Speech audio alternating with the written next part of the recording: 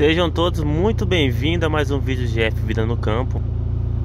Estou aqui com meu lote de desmama. Lote que está com média de 6 a 7 meses.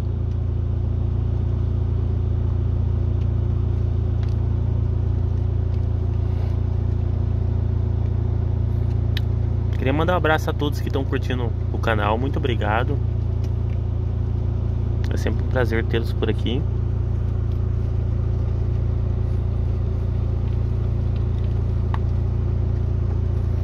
A média de peso desses animais aí é, é muito relativo porque tá misturado aqui, né? Mas só tá misturada por questão da adaptação da, da desmama, né? Mas eu tenho um bezerro aqui de 280 kg. E também tem um bezerro aqui de 200 kg. Vamos falar assim, mas Gabriel, 280 kg? Sim, é porque esses mais pesados, por coincidência, tiveram uma suplementação melhor antes da desmama, né?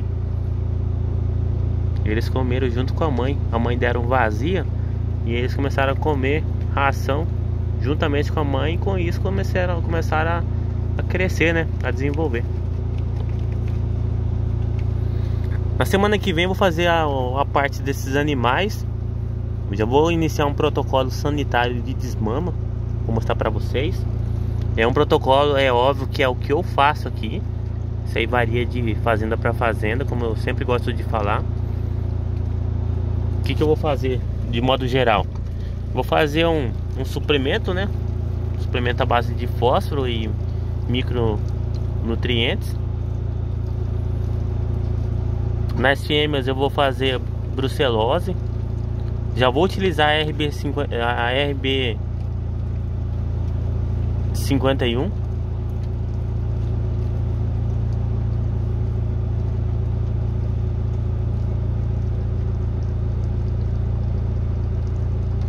Fazer o vermífugo 3,5%, né? Porque é uma longa duração.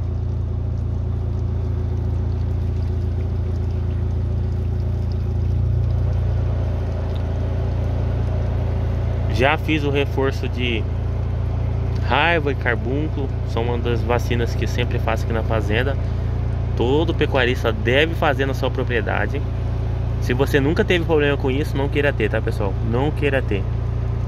Em duas semanas perdemos 19 animais por conta dessa doença. Aí quando a gente fala em relação à avaliação dos animais, olha só, bezerrada, bar barbela, cupim, Olha só, olha só a estrutura corporal daquele animal ali. Isso aqui é uma fêmea, mas daquele macho. Imagina só ele quando ele for virar tourinho. Uma bichinha curiosa. Olha só. Costela profunda. Barbela grande, couro grosso. Se fosse fazer uma avaliação de Nelore para compra, ó. Eu compraria aquele lá sem dúvidas. Olha esse outro aqui, mas não posso falar nada porque todo esse gado aqui são lote de inseminação com o nosso gado PO. Então nós temos uma bezerrada boa.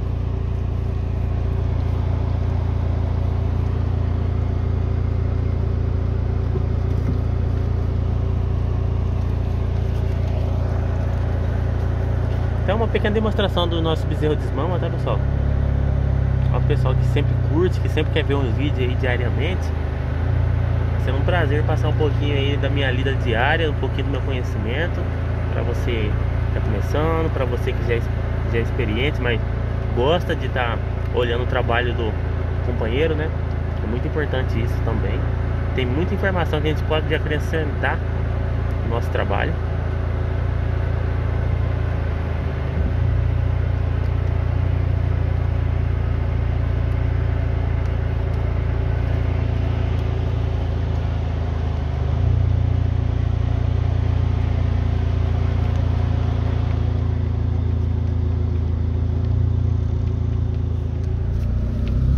É isso aí, pessoal. Fique com Deus e até o próximo vídeo.